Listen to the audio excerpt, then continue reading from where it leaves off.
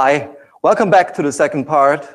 Um, first of all, I want to congratulate Jan for his first panel. It was Oh. really interesting. Thank you so much. Thank you. It was really good. And we are very proud to kick off the second part with today's conference. Gael, are you looking forward to the second panel?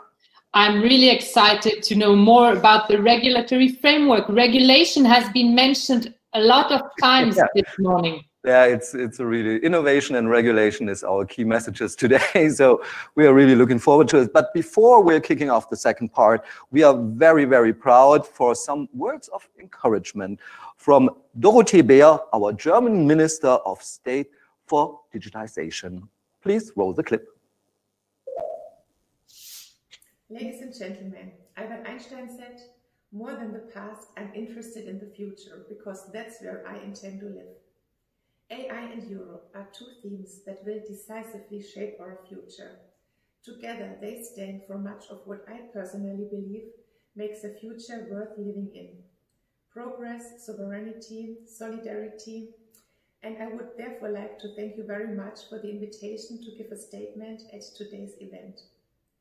Whenever I hear Albert Einstein's quote, I would like to add, we will also find key answers to today's challenges only with future-oriented thinking, with future technologies, novel ideas, and the courage to change.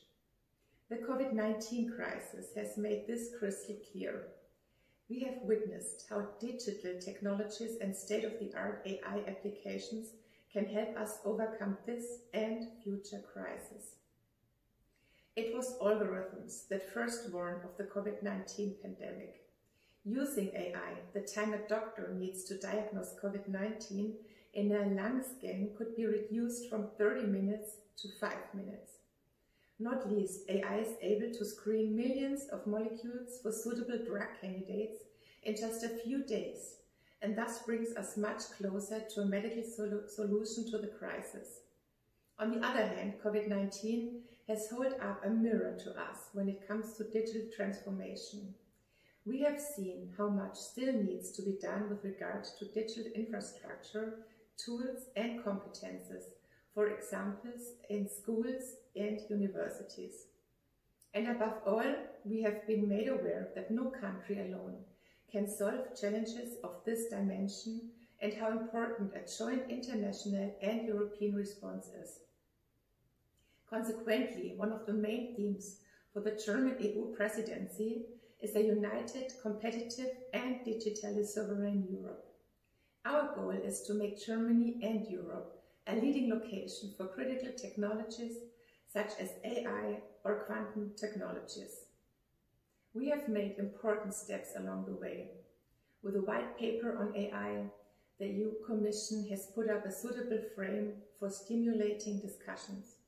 With our national AI strategy, we have significantly strengthened German AI research, boosted transfer to industry and expanded international cooperation. And nevertheless, AI has only partially reached the economy. SMEs in particular do not make enough use of the potential of AI. And so far, too few innovative AI applications made in EU turned into game changers on the world market.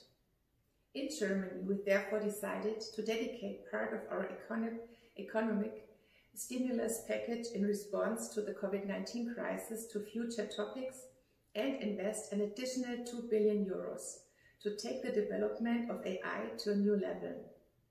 Our investments will directly pay on the strength of AI made in Europe and cover key areas which we want to discuss during our presidency.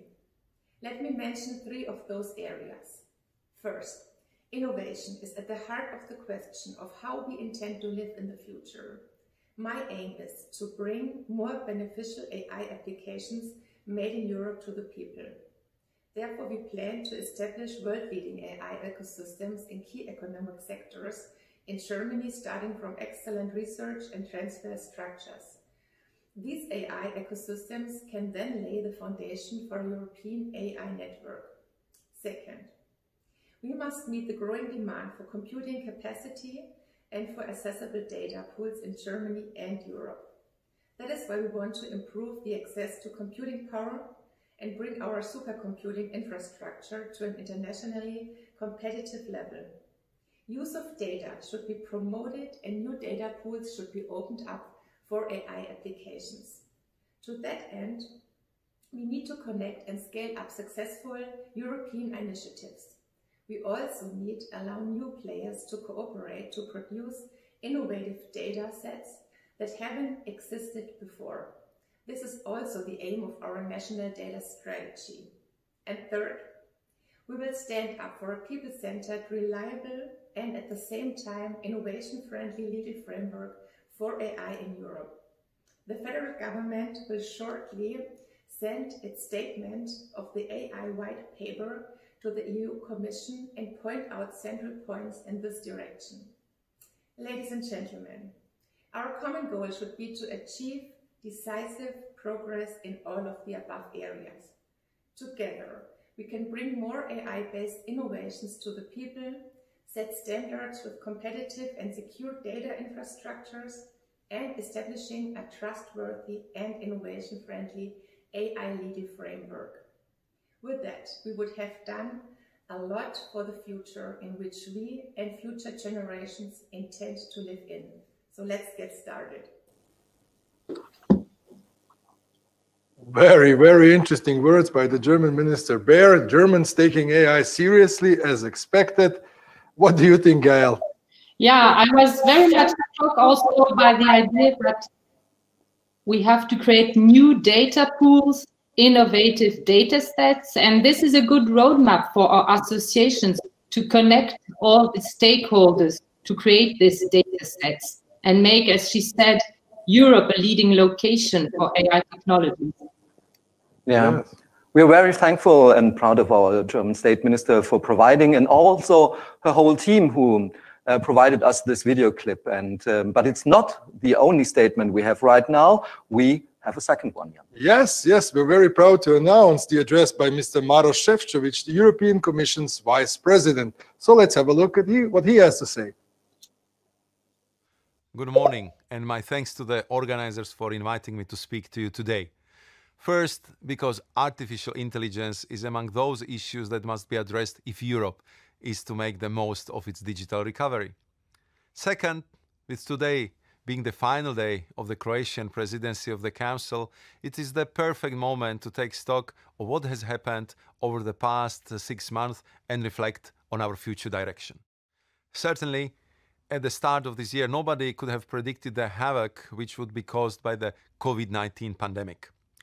These have been difficult times, but the determined efforts of the Croatian presidency under Prime Minister Andrej Plenković are to be lauded, especially given that they also had uh, to contend with the destructive earthquake which hit Zagreb in March. Across the European Union, we work together closely to tackle the immediate health challenges posed by the pandemic, ensuring that help reached the businesses and people who needed it uh, most as Europe went into lockdown. This need for cooperation must be reinforced now that we have shifted focus to the long term. Our joint efforts uh, now should focus on the far-reaching European recovery plan set out by the Commission last month, one based on solidarity, cohesion and convergence. It aims to kickstart the European economy, boost the twin green and digital transition, and make Europe more resilient. Our proposals are based on an emergency European recovery instrument, Next Generation EU, amounting to 750 billion euros, as well as a reinforced multi-annual financial framework.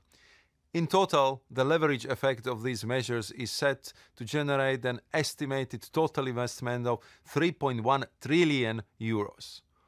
What is needed now is true leadership.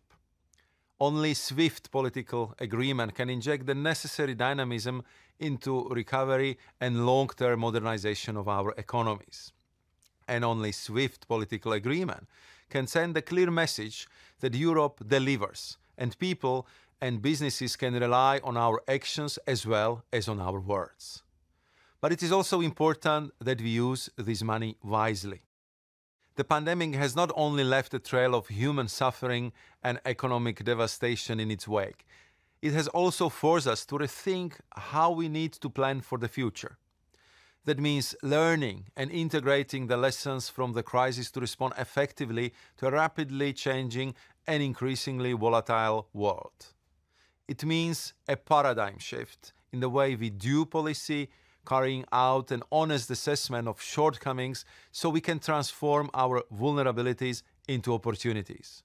And it means that our actions should forge greater resilience in the EU and our member states. Our aim is not simply to bounce back to our pre crisis state, but to advance towards the climate neutral, digital, and the more resilient future. And this, in my view, is a core condition for a successful recovery.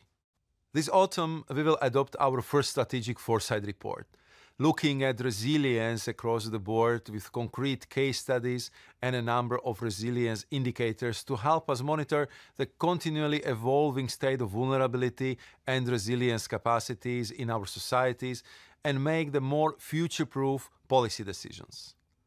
For example, the corona crisis has further highlighted the pressing need for Europe to bolster its strategic autonomy by building competitive, sustainable, and resilient industrial value chains in key sectors, including the raw materials critical to game changing, clean, and digital technologies. Here, we can build on our work under the European Battery Alliance aimed at creating a vibrant European battery ecosystem to reduce our overdependence on Asia, notably China and South Korea, and we are well on track. After less than three years, the alliance already encompasses over 300 industry and innovation actors and has mobilized around 100 billion euros in investment across the whole value chain. For these reasons, we have coined a blueprint for our 21st century industrial policy. It also applies to a stronger industrial and technological presence in strategic parts of the digital value chains. Therefore, our recovery investment should also be channeled towards strategic digital capacities and capabilities, including artificial intelligence. In this context, we need to help world-class innovators in Europe thrive by nourishing the ecosystems uh, in which they work and by making it easier for them to bring radical new technologies to the market. For the perfect example of what Europe can achieve, both in terms of innovation and electromobility, you only need to look to one of my fellow speakers here today, an impressive innovator, Mate Rimac. So, whilst there remains a great deal of work ahead of us, Europe can look to the future with confidence and a clear vision.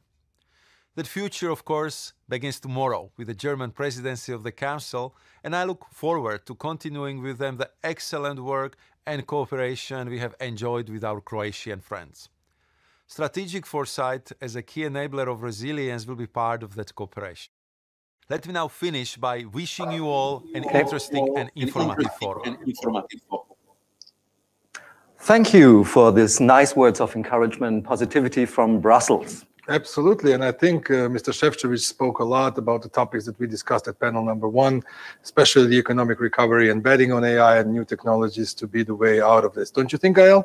Yeah, I'm really agree totally. All the countries nationally are elaborating some recovery plans, and we see that it's essential to have AI in the recovery plans, both on national and European level. Absolutely. How do we move on?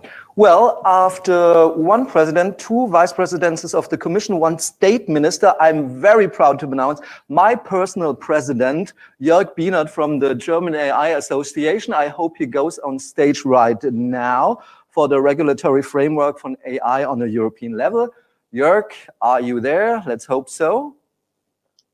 So he has to go on stage right now, waiting. So what we will do now is uh, probably the same thing we did at the first panel. We will allow our panelists and our moderator to go on stage. Hello, ah, welcome, Jörg. It's my president. Hi, Jörg.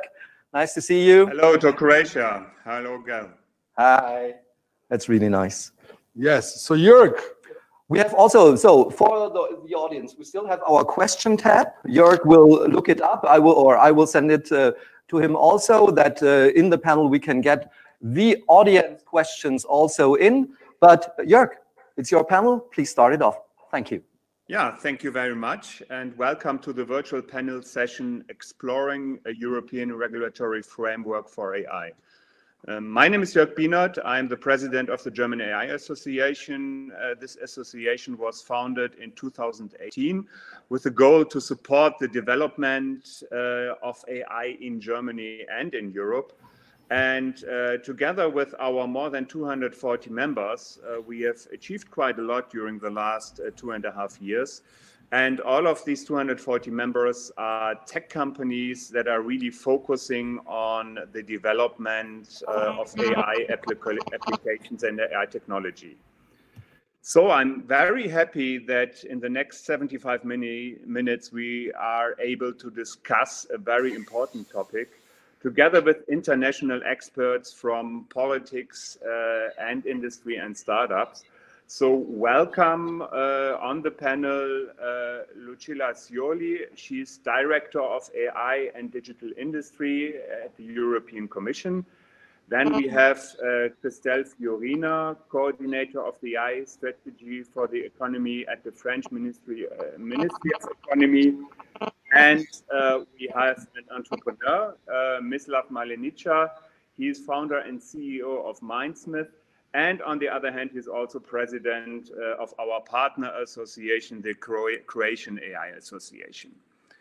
And um, I would like to, to start uh, with a round of introductory statements and would like to ask our panelists also to give a more uh, detailed introduction to, uh, to themselves. Uh, and I would like to hand over to Lucilla so, Lucilla, what's your view on AI, how we can foster innovation, and what's the role of regu regulatory framework and the European AI white paper?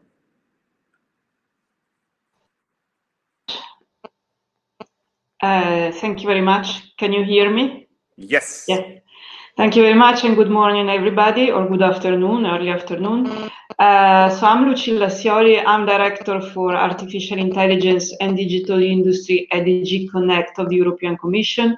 DG Connect is one of the departments of the European Commission that deals with um, basically policies concerning the um, concerning the internet.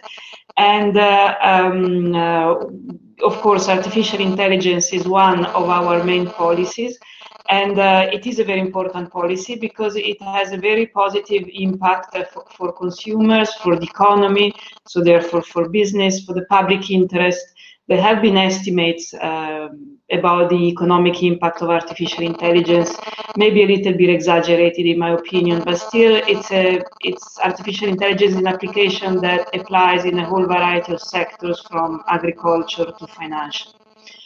Um, however, artificial intelligence is a technology that presents some risk. It presents some risk because uh, most of the uh, artificial intelligence approaches nowadays are, are based on machine learning, and this particular approach create, has some characteristics in terms of opacity, complexity.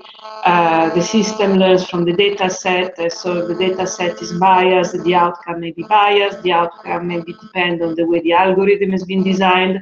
It's not clear how the final um, you know, implementation of the activity of the system uh, was actually decided.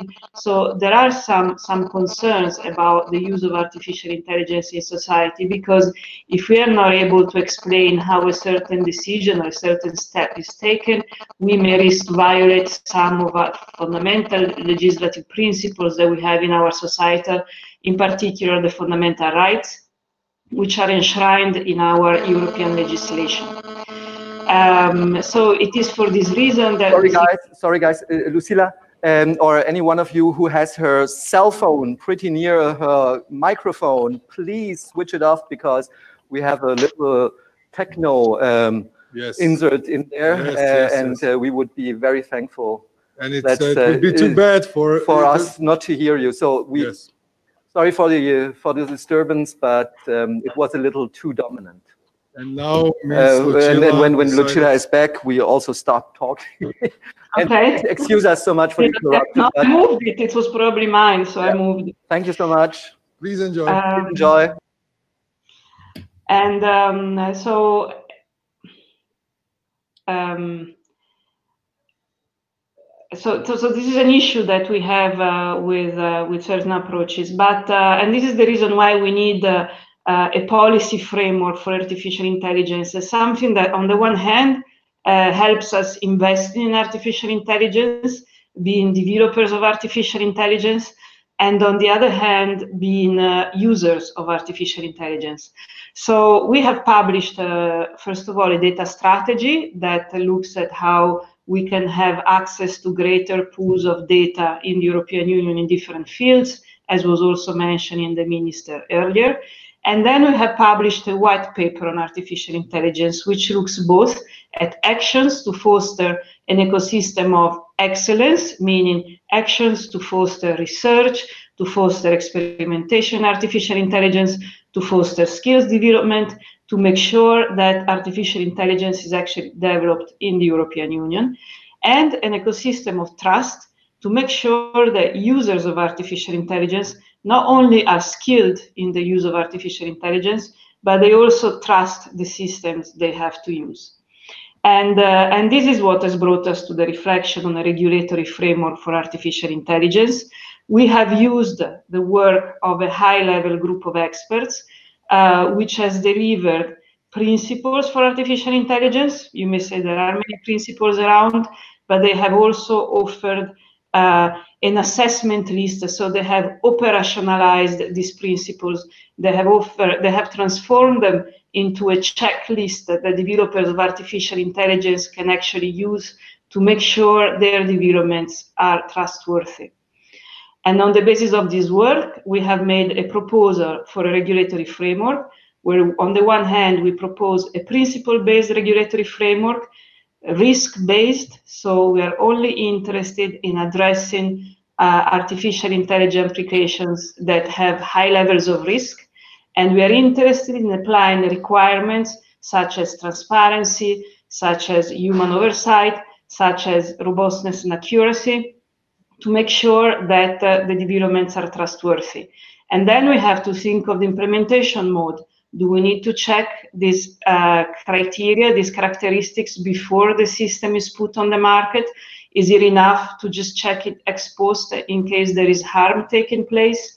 Um, uh, or should we simply put in place a voluntary labeling system where developers decide voluntarily to uh, certify their system and therefore also play a little bit with the reputational effect, which could actually help a lot of European companies.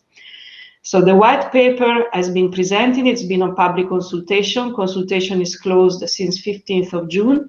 We have received lots and lots of replies, more than 1,200, and we're in the process of analyzing them, and we should come forward with our proposals at the end of the year, beginning of 2021. Thank you very much. Thank you very much, Lucilla. And uh, I now would like to hand over to Christel and uh, hear a little bit about your experience in that area, uh, your profile, and uh, your, initial your initial thoughts.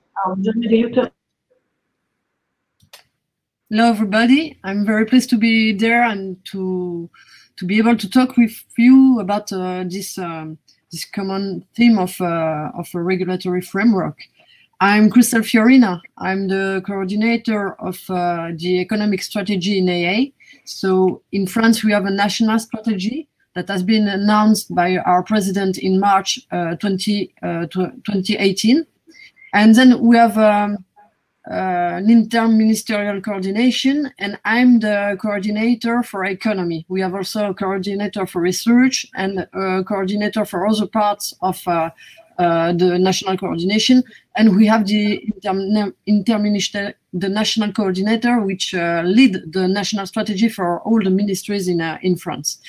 Um, I work for the ministry uh, of economy. So I have strong links, links with the, the economic uh, topics and with the enterprises in France. And um, I'm the Sherpa in the, the coordinate, coordinated plane of the European uh, Commission. Um, the feel we have about um, in Europe is that first of all we have to uh, accelerate the the innovation in uh, in Europe.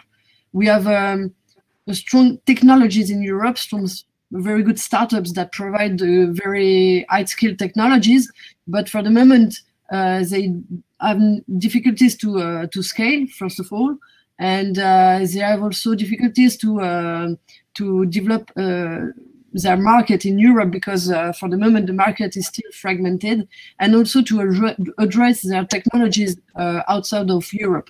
So we think that first of all we have to uh, collaborate in Europe on um, an industrial strategy in AA uh, with all member states and the, the, European Commission so that to uh, help our startups to, to develop uh, and to scale in Europe and to address other markets, especially uh, in the, the, the, markets that are in very high development. Uh, secondly, we think that um, yes, the, the economical situation, the, the current situation is a constraint uh, and it was not planned. But also we have now to, uh, to get opportunities uh, in fact, to accelerate the transformation in AA of our industries, in products and services, with um, European technologies that can uh, help enterprises to to have um, to to gain competitiveness on the markets and especially on the global markets using technologies made in Europe, as it was said this morning, and uh, using technologies that uh, correspond to our values in Europe. And um, because we have, and it's the third point, we have uh, we have to build, and we have begin begun to build a third way of creating an EAA between China and US. We have, as uh, Lucilla said, an AA based on the respect of human rights, uh, an AA uh, based on ethics, and um, based, based also on the, the, the, the rights of the consumers. And I think we have to uh, uh, to to to go further this vision to to to build it as a labelized uh, uh, condition um, and a signal to the market to say that yes, the technologies uh, produced in Europe are the, the technologies that will respect the fundamental rights of people and will respect ethics. Um, maybe, as you know, uh, France and Canada has launched an initiative which, which name is uh, GPAI, Global Partnership in AA. There are many people, many European countries that are, uh, that are uh, involved in that, that initiative the European Commission also is involved in this initiative. I think we, we can go further and Europe can be a leader in the this this way in GPAI promoting the ethic aspects of AA. Um, at least I would like to say that we have also in Europe to to uh, design uh, an economy of the data.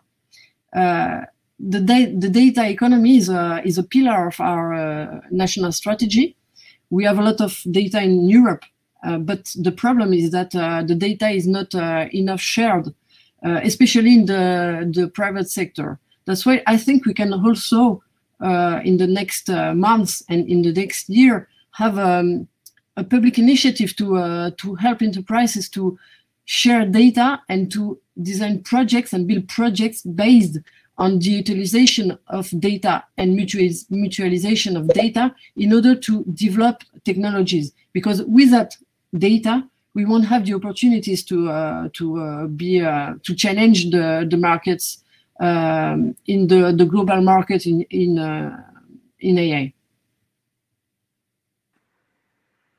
Thank you very much, Christel. And uh, now let's come to uh, Mislav. Uh, I'm very interesting to, interested to hear uh, your view on this as an entrepreneur, and maybe you can uh, start uh, a little bit with explaining what your startup does. Okay, great. thank you for having me here. Um, I'll start by saying that I'm in love with AI for more than 16 years first as a scientist and now as an entrepreneur. And our startup Mindsmiths uh, is based on like one hypothesis that we be, believe that one of the most important benefits of AI is the democratization of knowledge. which means that it should not matter who you are, what's the color of your skin, where are you from, you should have access to the best medical, financial, or any other advice. So basically what we do, we are designing emotionally intelligent digital experts that help people make better decisions and lead, lead basically more fulfilling lives. And I would say that uh, maybe to brag a little bit, our latest achievement is the digital assistant Andrija that enables Croatian government and our medical institutions to effectively advise our citizens during uh, COVID-19 pandem pandemic.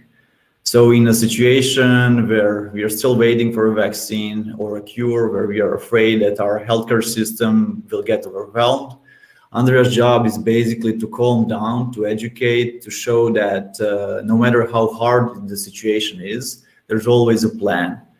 And after the introduction of Andrija, calls to our coronavirus hotlines dropped for more than 25%. So it was like a pretty big success but it also draws some of the questions about uh, moral uh, ethicity of it. Like uh, can an algorithm actually make uh, decisions? Should someone visit an er or not? And so on. And that that's something that also inspires me to join these kind of conversations. And that's why i think that uh, the regulatory framework is necessary and important because we all should recognize that we're all together in this and I find, I personally uh, see this uh, framework as a, as a social contract where we all together agree on what we think makes sense for everyone. And then you have a problem if entrepreneurs don't take part in this dialogue. There's a chance that this social contract will actually be out of the balance and that it will do more harm than, than good. So I think it's our obligation, like startups, entrepreneurs, SMEs, uh, basically to share, to get involved, share our perspective, and help setting up an inspiring environment for exploring basically how AI can actually improve our lives. So I'm really looking forward to this discussion today.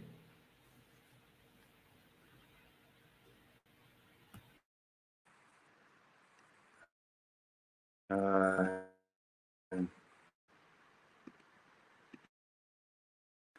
no, I had to unmute my myself. Thank you very much. Um, and before we look um, a little bit more into the role uh, and uh, pros and cons of regulation, I would like to start a first dis uh, discussion round regarding the chances of AI and what we have to do uh, to foster the usage of AI within Europe. And I have my first question uh, to Lucilla um, in regards of uh, the conditions that have to be designed uh, in an economy of innovation in the area of, of uh, in the area of AI in Europe. Uh, what can uh, the European Commission do? Uh, what are the means and measures in order to foster the usage of AI in, in Europe and to stay competitive?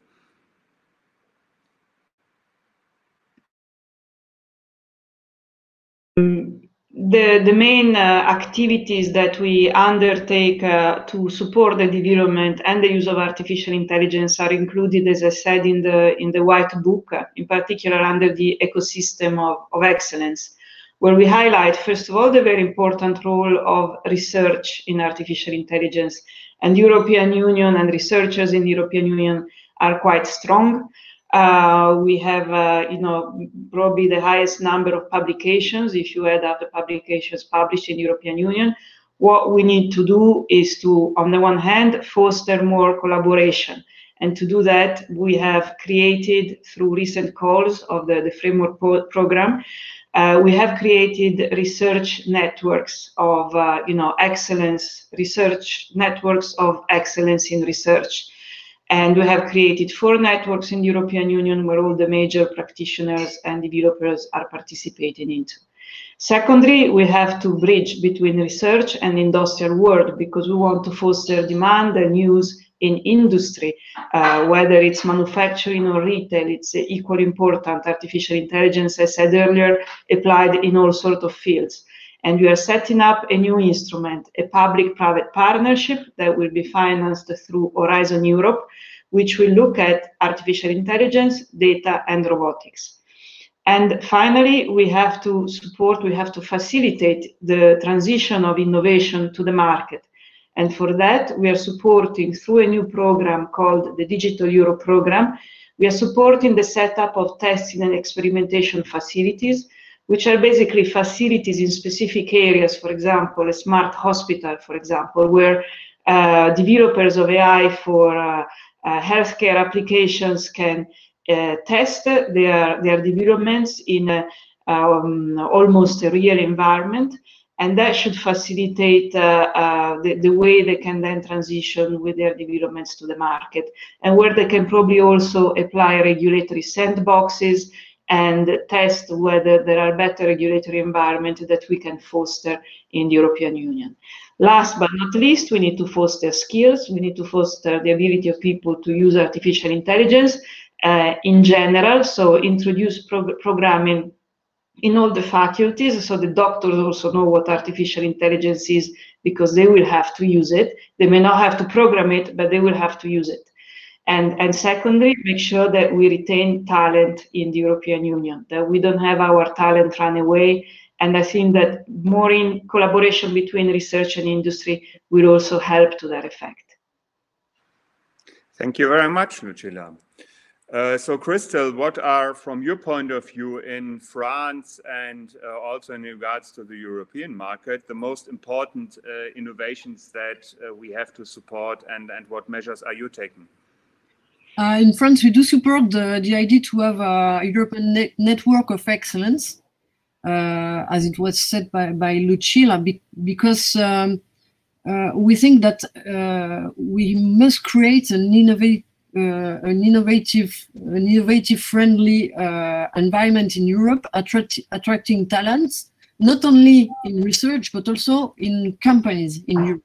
Because uh, one challenge to, today in France, for instance, is to uh, uh, recruit talents. Uh, for instance, in big company that that not provide technologies but are that are in demand of uh, technologies, and also to recruit uh, talents in uh, in research and to maintain them in France. So I think that this challenge is the same in Europe.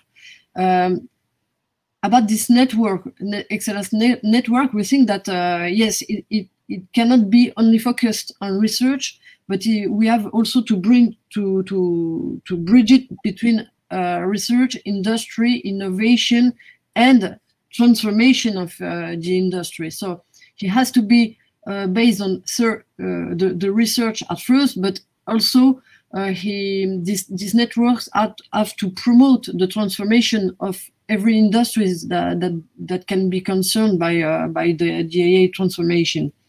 Uh, that's why it, can, it, it, has to be very applicative, in fact, at least, and um, with policies addressed to the to to the industry uh, and also for the services. Uh, for us in France, the condition of uh, the innovation um, is also to have huge investment in that domain, and we think that events there are investment planned in digital Europe, but it's not the investment can, cannot be uh, only from the European uh, uh, Commission. It, we need also to have investment in member states and to build a common European investment based on AA with a common strategy on that.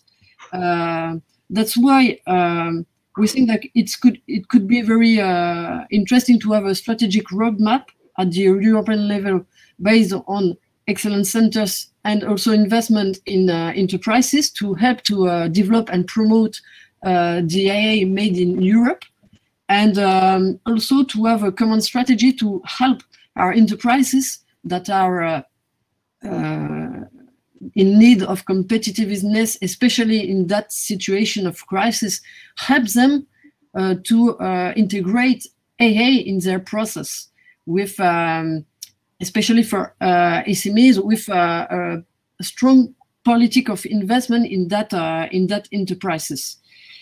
We also think that we have key markets and key sector um, in in uh, which the investment are uh, can be focused.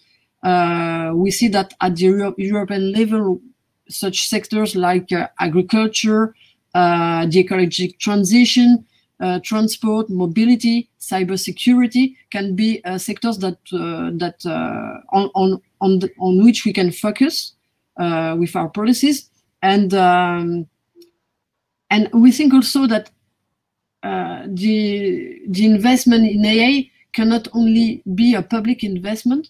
So, as it was said, we are supporting the polit the the the politics about promoting private and public investment. Uh, for instance, we we can promote uh, PPP investment in data sharing or uh, in um, disrupting technologies. And we also think that on the European level, it could be interesting to launch, for instance, an important project of common European interest on AI. Hmm. Thank you very much.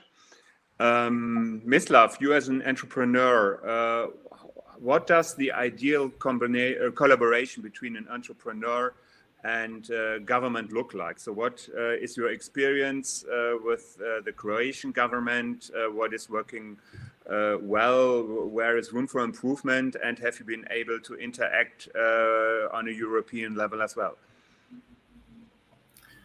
Well, I would say that we should first make if you're trying to build an AI company, the first thing that you realize that these processes of like digitalization and AI, they favor only companies that are targeting global markets. Because like that's the moment when you'll have enough clients, enough data to reach these high levels of efficiency that you that will make you relevant, competitive, and sustainable in the in the long run. And I think what we all can see is that countries who do not realize that their job is actually to support their entrepreneurs in scaling up will be the countries that will end up in the defensive mode and they'll end up actually basically importing everything. But on the other side, you also have entrepreneurs who are not realizing that for great innovations, it's almost impossible that you do such things without collaboration with the regulator because you'll uh, otherwise you'll lack maneuverable space.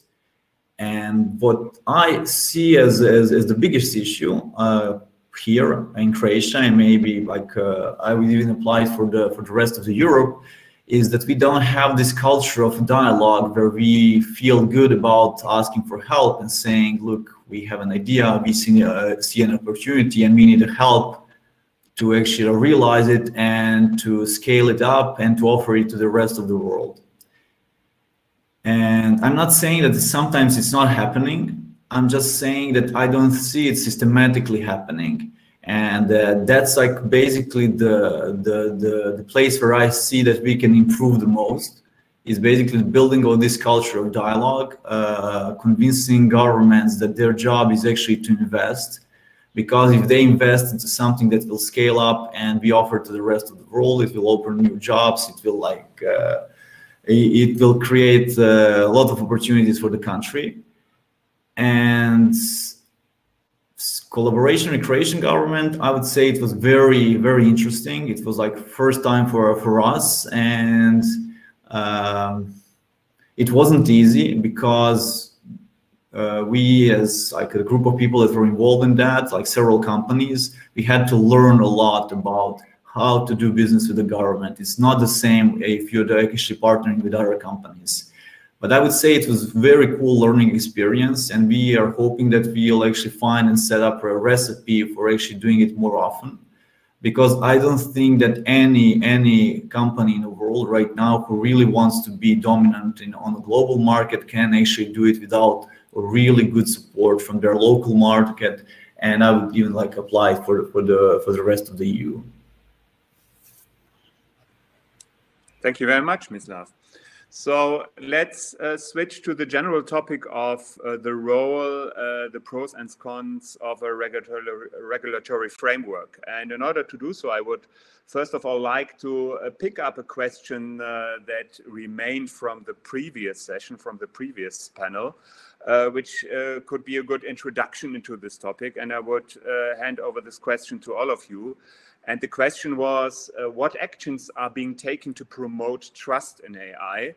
Are you planning on having a body of governance to ensure responsible AI, practi AI practices are followed to unethical bi and bias in AI solutions in Europe. So um, maybe Christel, you could start, and then we would uh, to answer this uh, question briefly, and then we will hand over to the other ones. Yes. Um, speaking about uh, ethics, uh, effectively, uh, we are we are currently uh, working on on the ethical aspects of AI.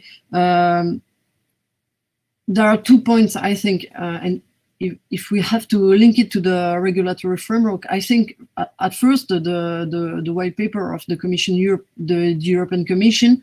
Um, identified the criticism system as um, the one uh, to be regulated. And we think that uh, this approach is the good one.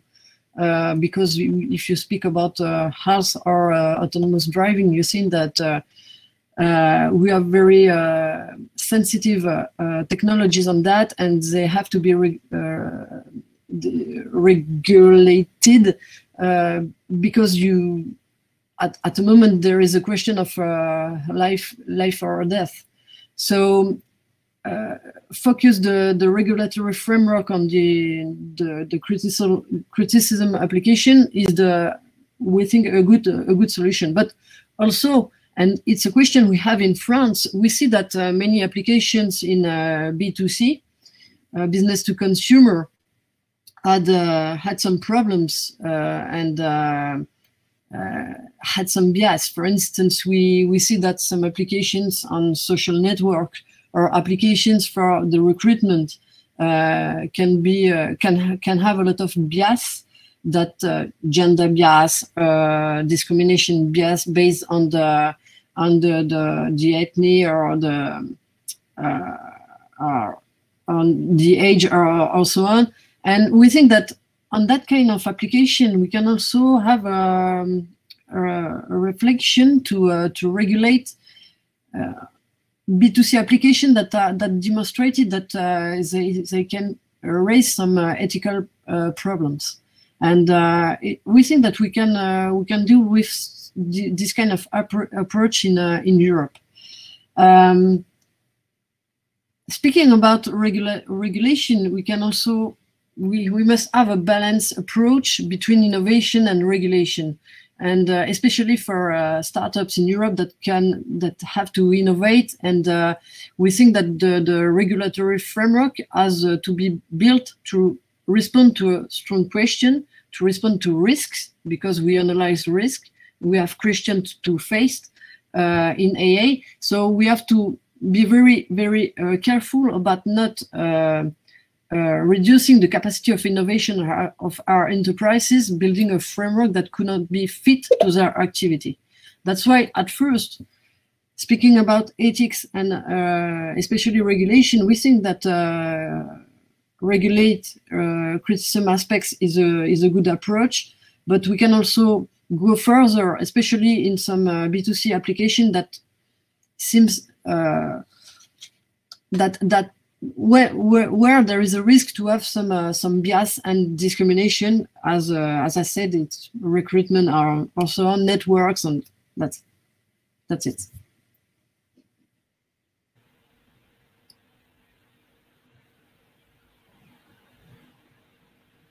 Also, sorry.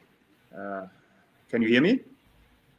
Yeah. Yeah. And uh, maybe also the question to you, uh, uh, despite the regulation, what can AI companies and especially startups do in order to uh, uh, increase the trust in AI applications?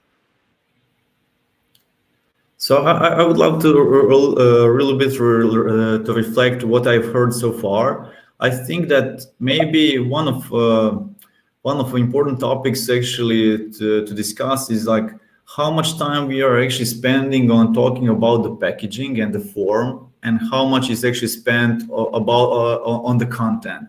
Because i don't think that in in in europe we have a huge messy market with like thousands of ai startups and no one actually knows what's going on and what's happening and now we are looking for a way actually how to improve it i would say that uh, it's it's a little bit strange to me that usually you have like tech innovation, you have disruption, and then you find best practices, and then you basically try to systemize that in, in, in some form of some regulation. And it seems to me that we are trying to create laws and regulatory framework before we actually created the market. And if I can get back to the to the question that, uh, that the person asked, do we need another government body that will actually control something? I think it's a super important question, but that's, in my opinion, a wrong way how to address it. The right way would be to educate people what the bias is, to educate them to ask for solutions that are actually solving and uh, uh, these kind of problems not to add a new layer of regulation, but because that's something that really increases the cost of innovation. And one of the reasons when you as an entrepreneur are trying to uh, identify what's the market where you want to start your company, you'll just see like how heavy the regulation is, uh, do you understand it, how often it changes, is, is it supportive you know, for innovative uh, products, or it's basically constantly trying to paralyze you with fears that maybe are not even real. So in, in my opinion, I think that we should be very realistic and say that number of AI startups in Europe is relatively low because it's a market of like 450 million people, pretty big market, not a great output. And instead of actually uh, going deep and analyzing why is it like that, how we can actually motivate more people and create more inspiring environment, we are trying even like to put more burden on, on, on this. And don't get me wrong, I'm not against regulation. I think when done right, that's what provides you stability, and that's awesome. I just think that we are like one step behind where we think we are and that we need to find a way how to actually motivate uh, the market and, and entrepreneurs actually to start the companies.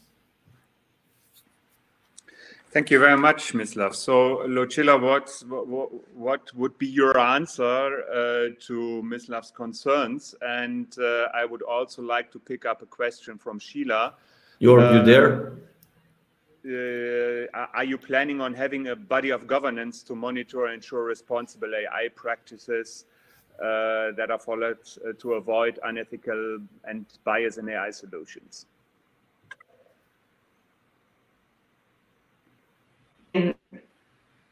That uh, you know most of the developments in AI truly nowadays are probably taking place in China and the United States. This is when you talk about AI; these are the areas of the world that are proposed as the leading areas. But as a citizen, uh, you know, if I look at their digital world and I look at the digital world in the European Union, I'm very happy to live in the European Union. We have seen this now with, with COVID. Uh, look at what happened with the tracing apps. Uh, we have been, uh, you know, many European countries have been discussing the implementation of the apps, which will need to be interoperable, but most of the discussions have been about privacy. Now, I think most of European countries do have a tracing app or they're about to introduce it. I think there is only two or three who will not. Um, and they will be interoperable. You look at other parts of the world where, because they don't have GDPR, because they have not been thinking about privacy, they're not able to implement them. And they would rather suggest having people that physically follow other people and check if they're sick or not. So I think that what COVID has taught me, for example, is that Europeans care a lot about their fundamental rights. Certainly, they care a lot about their privacy. And in my opinion, they also care a lot, care a lot about not being discriminated. So in gender, in all the, the reasons that were listed by Christel earlier. So I, I really think that uh, we need to be able to build a regulatory framework that is targeted, as I said, high risk, in the areas where people really care about. Um, and uh, I don't think this will. Uh, I think we can we can find ways to make sure that this does not stifle innovation. For example, in the white paper, we have proposed for small medium enterprises and startup the help of organizations which already exist. They're called digital innovation hubs. We are asking, you know, we're putting them in place with the member states. They will be in place starting from the beginning of next year. We ask one, at least one per country to be in particular specialized in artificial intelligence. We hope in large countries there will be more than one. And this can help, for example, the, the startups and the smaller enterprises to really reduce the cost if they're really developing applications in areas that are considered high risk. But we do have to find a way to make sure that we have a mechanism in place whereby the use of artificial intelligence does not violate fundamental rights and we have no way of realizing it. And I think these are the values of the European Union, and that's what makes us different from maybe other parts of the world. Other part, developers in other parts of the world will be required to put in place the same requirements that we do, like we do with GDPR. They have to put in place the same requirements. They're not alleviated because they're not Europeans. And we also hope that European companies can take this angle of trustworthy for being a competitive advantage rather than a disadvantage. So, so Lucilla, if I, if, uh, if I may ask like a few questions. Yeah. So first, I really love our human-centric focus. I really think it's our great opportunity on the global market. I really love the fact that we are not betraying our European values. So I think that will, that can be our product that can be scaled across the globe and that other nations will also appreciate it. That human-centric approach. So I'm not questioning that. I'm questioning uh, to what's in my mind a fact is that I don't think that right now anyone knows how to actually regulate high risk uh, industries like healthcare. I think that there's like a lot of people that can maybe think that they can actually do it, but I don't see practices. And when I'm trying to analyze how innovation actually and disruption happens around the world, it's not by first setting up regulation, which implies that there's someone who is so smart that can see the future and knows already the right steps. It usually starts with some experimentation, something that can go in a sandbox, something that can go in the controlled environments and so on. And then when you learn something, what works and what doesn't work, then you actually put it in, in, into the legal or regulatory framework. And I just feel that we are actually spending so much time and energy on trying to predict what will be the right formula without like really actually having any tools to be, uh, be to able to predict what it will be. And it's not based on experiences because AI is something really new, coexistence of like humans and AI and how the world will evolve. That's something that we need to see what will happen. And I'm just thinking that if we put too much burden, basically we'll actually push out innovators uh, uh, out of the Europe, not because we are not caring about our human-centric approach and our core values. We love that. It's just because it drains your energy to spend so much time on on frameworks that basically I, I just don't see how they can be made well with uh, knowing as little as we know right now.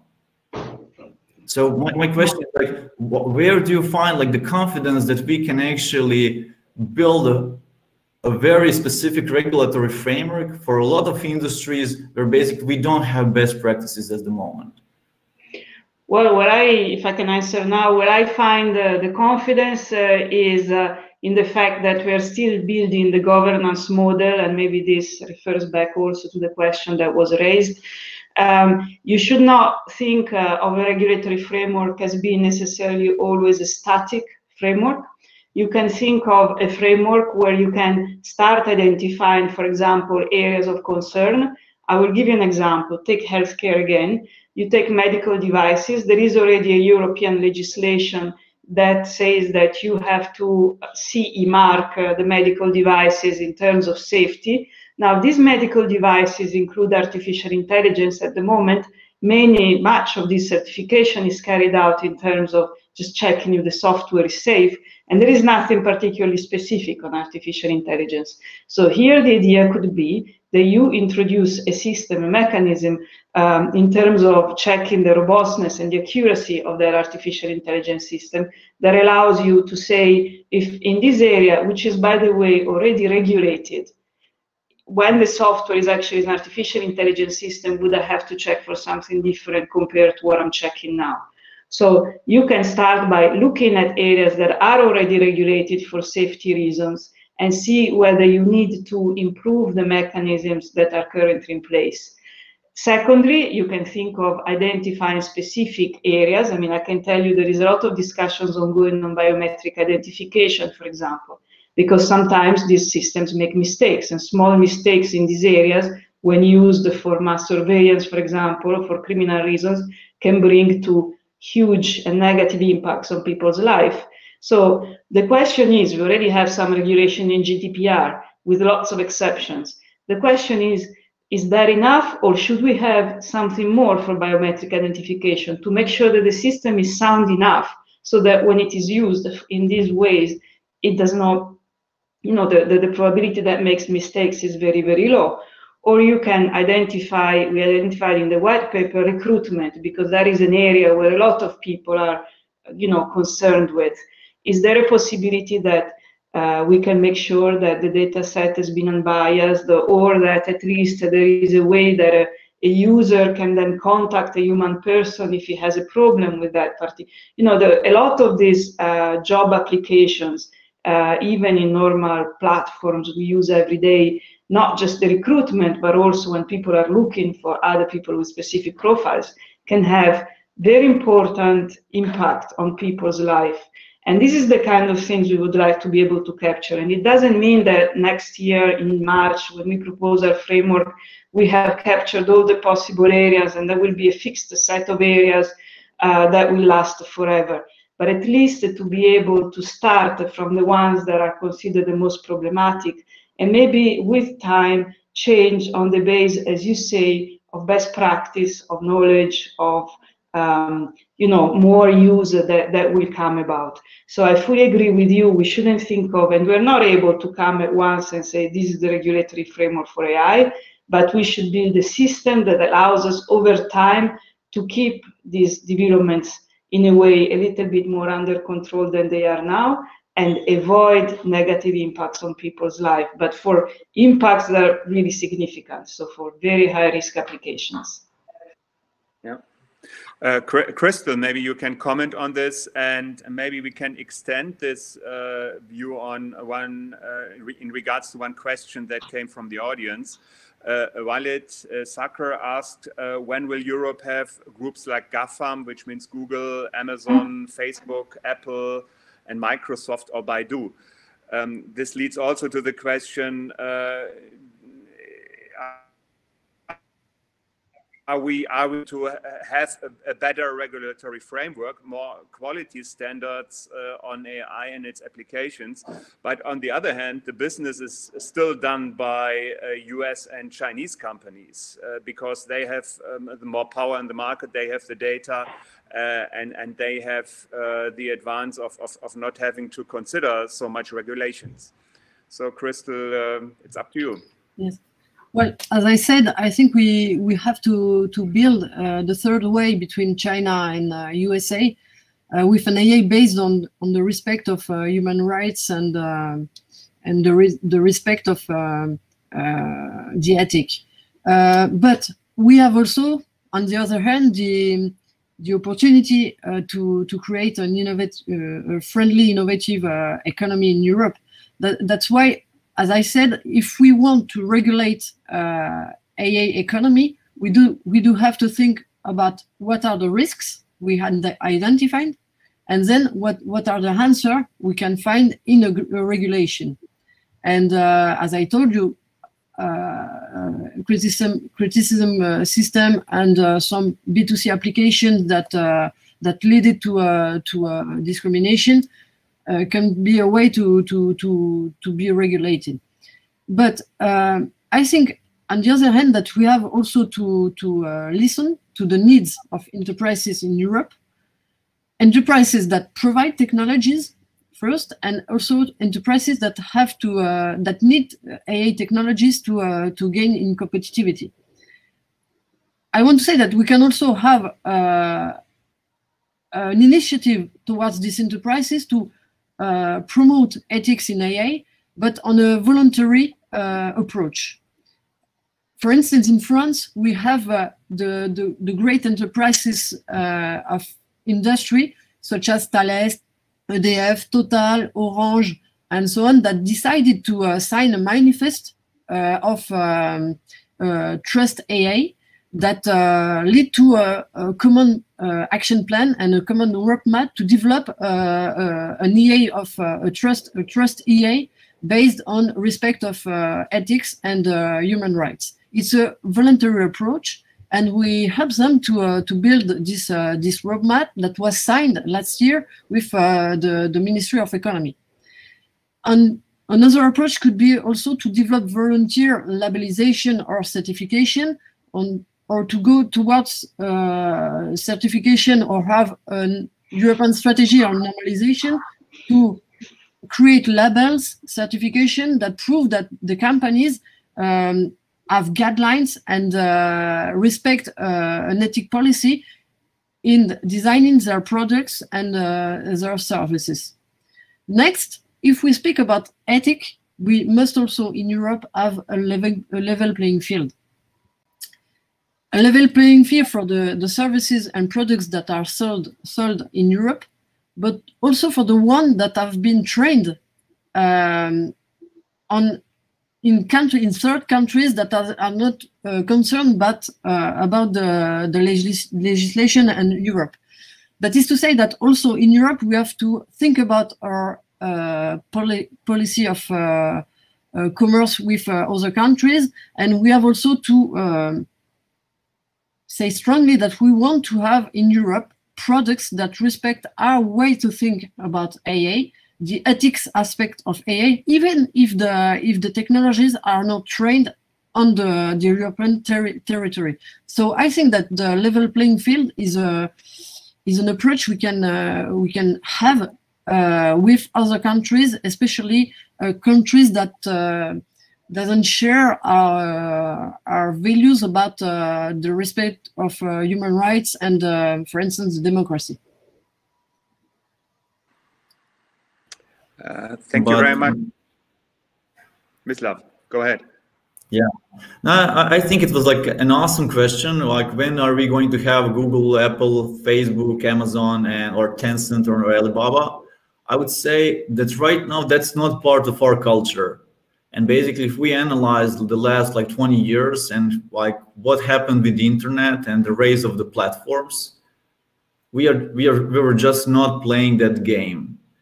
And to me, it seems that we are maybe going heading in the same direction because it's not about that we have few companies and we are trying to give them competitive advantage in order actually to try to dominate the world market.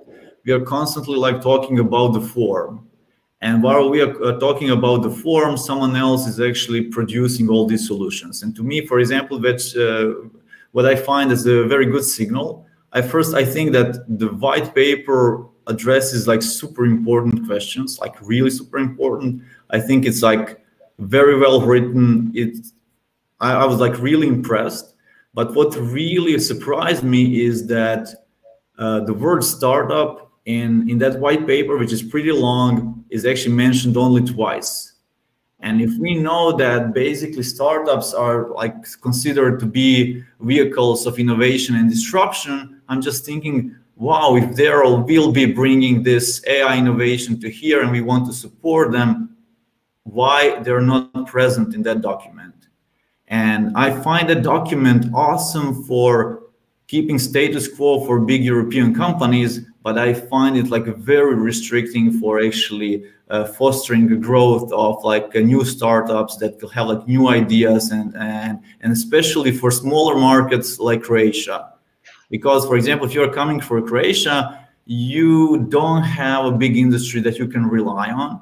You can see that uh, ai is uh, is an opportunity that we probably won't have another one like that in like uh, 30 years. And we know that we need to take more risks to have a chance to be relevant on, on, on the global market and the only thing that we cannot do is actually wait for some regulatory framework that's trying to predict future based on no data to happen. And although I think it's awesome that in Europe we have a culture where we discuss such things. I think we need to also be very well aware that maybe our knowledge about application of AI and how it will affect like human lives is not actually that good at the moment so that we don't go too specific. We don't waste too much time. We actually add uh, uh, we offer principles in the beginning and we ask people to be responsible for what they're doing. Because for me as an entrepreneur it's easier to be responsible for the good things that i'll do and the bad things that i'll do than to spend enormous amount of time money and effort to try to be compliant with all the regulations that are actually happening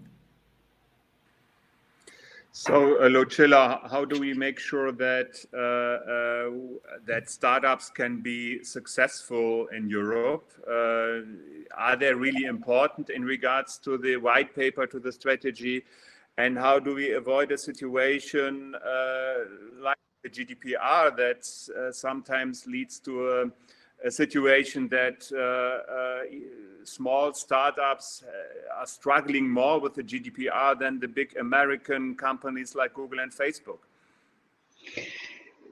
Well, I think that um, the, the, the startups are, are very important in Europe. Unfortunately, you know, the, the white paper uh, is written, it's like the fourth document in a series of documents on AI that started being written in 2018. And I'm sure that if you go back to the others, you see more mentions of startups, not because they have become less important, but because we have addressed uh, some specific actions on startups uh, in other places. For example, we have set up um, uh, with, uh, with the European Investment Fund we have set up, uh, uh, we have contributed financially to, to a fund of fund for startups in AI. And this one is going very well. And uh, I am actually um, uh, very happy to, to notice that in the recovery package that was now proposed by the European Commission, uh, there has been an increase uh, in the in the funding of the financial instruments in InvestEU, which is really very much uh, about equity. And uh, actually, I think that the real advantage compared to current market condition is probably uh, in terms of equity. And so I think that could be can be extremely important uh, for the startups. I agree that this has not been uh, particularly highlighted in the white paper, but it's uh, um, a fund which is at the moment already available with the European Investment Fund and the idea is to strengthen it in the future with uh, with InvestEU. So I also invite you to, to look at these other activities. It's very difficult for me sometimes when I describe the activities we do to be completely comprehensive because there are really many different areas that become relevant. And that's why I also don't like to talk about the regulatory framework in isolation. And I like to talk about all the activities we try to undertake to make sure that we can have a flourishing ecosystem. Now, I also understand the issue of the startup who says, I'm in Croatia, I have difficulties in connecting to companies in other parts of Europe. But this is what, this is something where we have to work on collectively, including in the public-private partnership I was mentioning earlier. And I, I hope you can also take part to those discussions because that will give you the possibility to connect to maybe even bigger companies in, in other parts of Europe we don't have the big platforms, but we do have some platforms. We have Booking.com, we have, I don't know, Zalando, we have Skype was invented in Europe. And but the reason why they don't become or they have not become as big as the others is because we traditionally, historically, have had a lack of a single market, in particular of a digital single market. So many European companies go to the United States to scale up and then they come back. And some don't come back at all, unfortunately. But this is what we've been trying to do in the European Commission with the proposals of the, the European Union in the past, uh, with the past Commission, uh, very much about strengthening the digital single market because it's the fragmentation of our market due to our geographical borders. Um, and we are not an integrated federation like the United States is. And that's what makes it more difficult for our companies to, to grow at the international level. But this is the real reason why the European Union exists. And I think that over time, we have been making incredible progress in all sorts of different fields, including in telecoms and other digital areas. So I hope we can continue doing that, but obviously um, the, the, the scale of the, the, the US market and the lack of fragmentation, the, uh, the, the, the, availability of venture capital, uh, the, the, the, existence of Silicon Valley, these are all reasons that have, of course, flourished a certain ecosystem that we have not achieved in the European Union. Not yet, but we are ready for the next phase. But, but if I can add to that, I would say that there's also another uh, another reason is like when you analyze how American or Chinese or Israeli government actually uh, collaborate with their entrepreneurs, they are seeing that oh, I need to help my company because that's how I'm actually spreading my power across the world, and it's so obvious when you're actually doing business in those countries. And while here, I would say that we still are not recognizing that we need to invest in companies that can be globally dominant so that we have something to offer. So basically, we are constantly one step behind. We are thinking about should we replicate the cloud infrastructure because we are dependent on it? Should we replicate this because we are dependent on it? We should, I would say, in my opinion, we should just recognize that we are late. We lost like few battles already uh, the bad thing that we can do is actually basically limit uh, our entrepreneurs actually access to the state of the art technology in the world right now because we want to promote something that's European because then we are actually making efficient entrepreneurs in Europe and and I would say it's more like a philosophy of each country and that's why I just want to repeat I really like our human centric focus I really like our European values. And I think that can be a product that we can sell to the world. But we just don't, we are not focused uh, enough on like how to build businesses. We are more focused on like how to uh, make sure that the world doesn't change. So I would say that we are not inspired with what we can actually achieve and how the future can look like we are more par paralyzed by the fear oh there there's a mistake that can happen on the along the way and i think that anyone who's been an entrepreneur knows that mistakes always happen and they're part of the learning process and i don't know why but we are so afraid of the mistakes and we're instead of like embracing them and experimenting and then actually trying to see how we can touch the world we are basically preventing the world of coming to us. Um, I, I, also would like to pick up one additional question from the audience and, and talking about uh, uh, the different European countries. Uh, Nada Viale um, asked, uh, Lithu Lithuania is a country that progressed a lot in data-centric approaches and AI is there experience sharing on the subject with other European members? Uh, so, Christel, are you exchanging best practices and ideas uh, with other European countries? And uh, do this idea get into uh, the um, the thoughts uh, and the progress of further development of the framework uh, in the on the European Union side? Um, yes, so we have um, we have some cooperation, uh, strong cooperation with uh, countries like uh, Germany, of course, and uh, for instance Finland. And uh, that in that context, we we have reflection about uh, data sharing and also about common projects in AA. About data sharing, the most difficulty for the, especially for the private actors, is to have um, confidence in the way uh, of uh, of the sharing in the in the way of uh, the the platform is is, is conceived to to have confidence between in in sharing data and use of data. So we are currently working on that with some other countries to, to find what could be possible to uh, create confidence about uh, data sharing. Uh, for example, in France, uh, in the sector of agriculture, which uh, which is a sector uh, with a lot of actors, big actors and also little one, like farmers. we raised uh, it's based on a private initiative, but uh, we raised um, a platform which name is uh, Ag Data Hub, and I think it's a it's a good example uh, to of um, what kind of uh, common platform we can have on uh, sector on, on different sectors of uh, industries. Um, just one thing also about this: when you speak about uh, data economy and when you speak about uh, data sharing, you speak about innovation, and obviously our main problem problem today in France, but also in Europe, is to uh, help our startups to uh, innovate, uh, to uh, have a friendly environment to innovate, and also to scale. That is to say that uh, for data for AI, uh, we need to create this environment to enforce this environment because, in fact, the environment is created, but to enforce it, to help them to scale in Europe and to to um, to have a common market because for the moment the market in Europe is still too uh, too fragmented.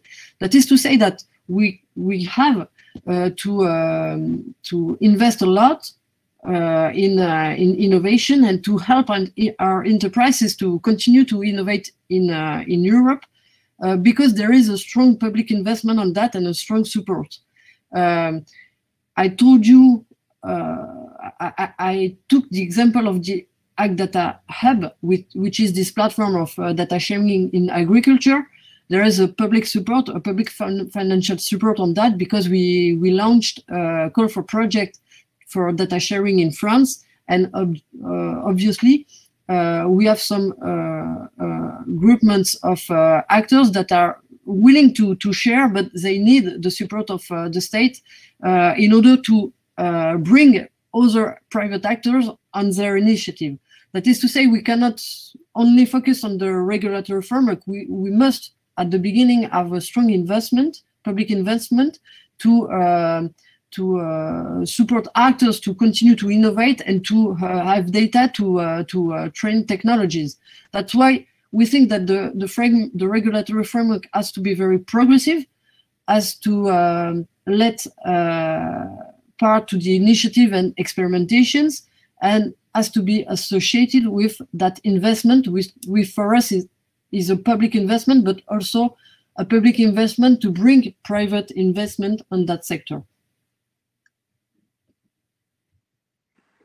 Thank you very much. Um, so picking up two, two last questions from the audience, uh, handing them over to Lucilla. Um, are cybersecurity uh, experts participating in defining some of the regulations? And do you think uh, open source uh, should be considered in the area of AI? Uh, bringing this into a, a larger framework uh, of what are the next steps in regards to the further development of the framework uh, and the European AI strategy? So uh, the next steps, um, I, as I highlighted before, we are in the process of analyzing analyzing the results of the public consultation. We had many, many contributions, so this is uh, quite a long work, although we will also be using artificial intelligence to help us.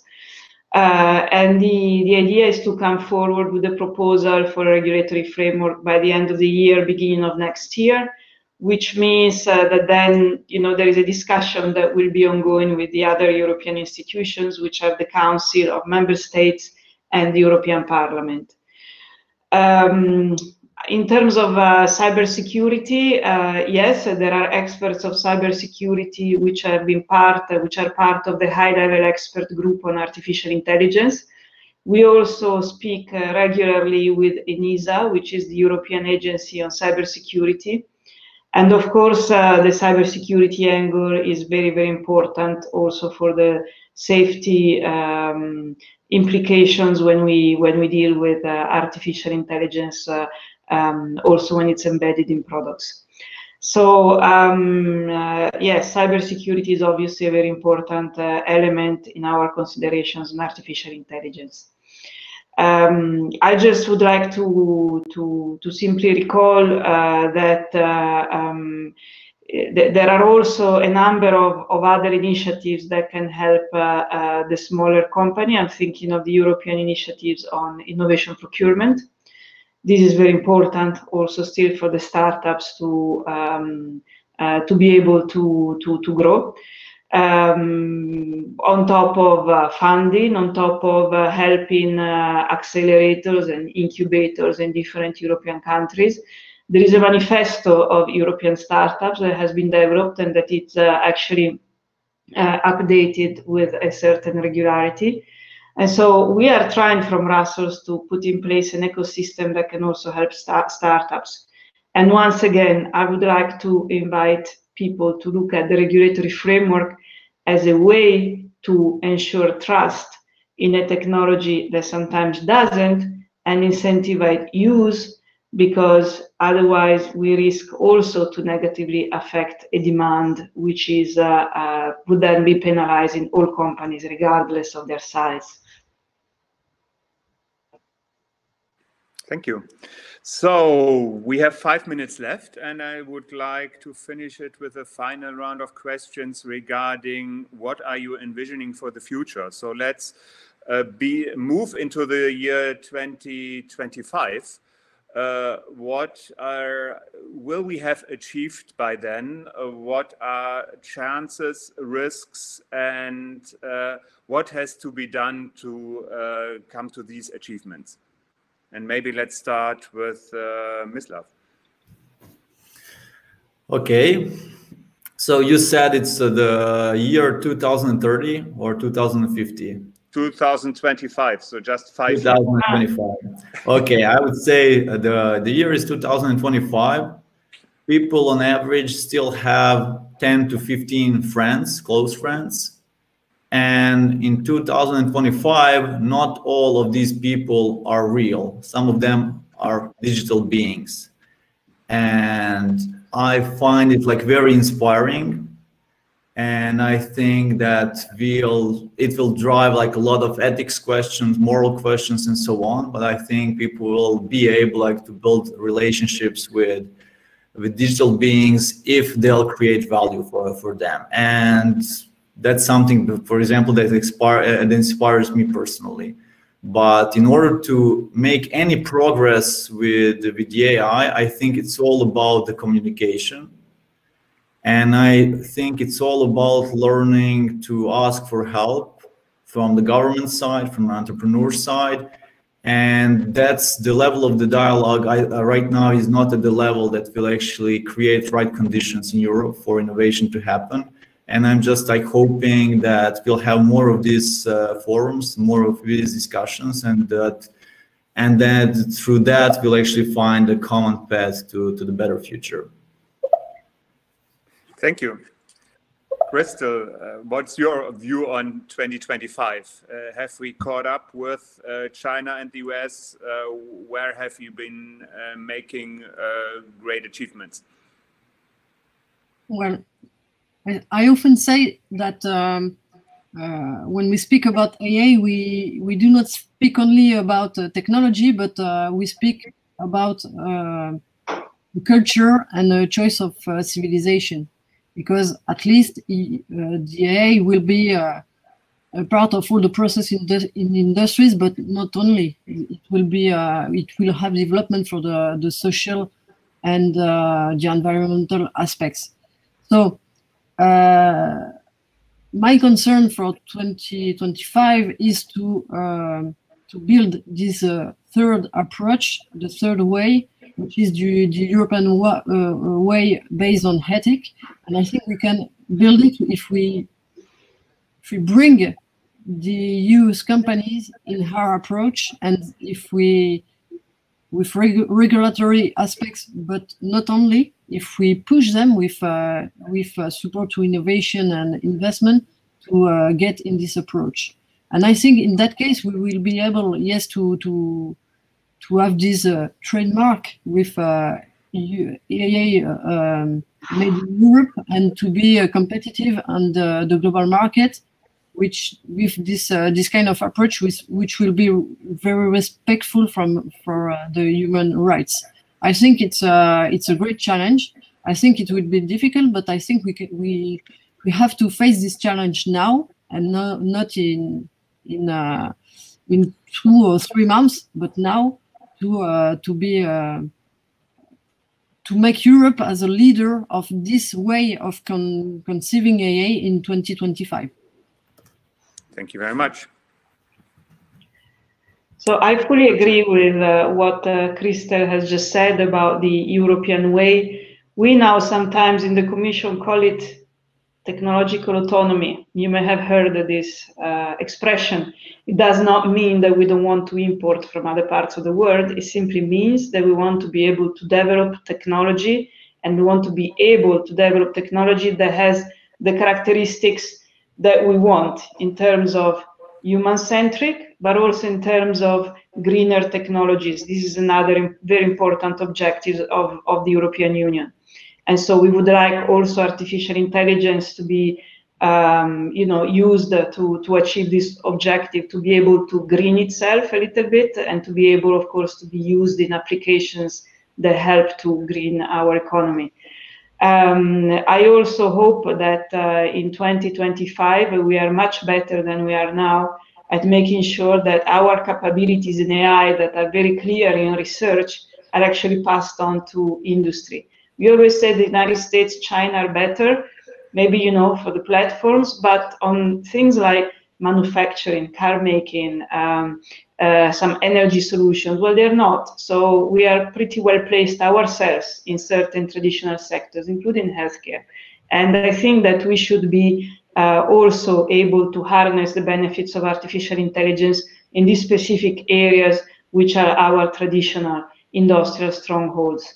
And finally, I hope that in 2025, um, people, you know, are much more educated about artificial intelligence, not only people at university, although, you know, the, the way education changes is very, very slow. So if we could have a change there in terms of multidisciplinarity, it would be very welcome, but also simply informing citizens more about technology and what it can do for you and not just, of course, scaring people about the concerns of technology. I think this is an important activity that we all collectively have to undertake. Just last one, one last point about 2025. I hope the European Union works as a union because there is no way we can compete with China and the United States. There is no single European country who can compete with China and the United States alone. We really need to have uh, to work together and have a coordinated effort uh, um, and a European effort together. Yeah, thank you very much. And I think these were, very good closing words. Uh, I think this is really something we should focus on. And uh, uh, yeah, we are uh, out of time right now, although there are a lot of topics that uh, might be quite interesting and which we wouldn't haven't been able to cover. But I would like to thank you, uh, Christel, Lucilla, and Mislav for this uh, good and vibrant discussions. We have covered a lot. Thank you to the audience for your question. Uh, some of them we were able to answer, I hope to your satisfaction. And uh, I think there are uh, a lot, there's a lot of work ahead of us in order to, to come to these achievements. Uh, so the, this discussions won't stop during the next weeks. But now, uh, unfortunately, it's time to hand over again to my friends in Paris and Zagreb. Thank you. Thank you. Bye. Bye. Bye. Bye. Yeah.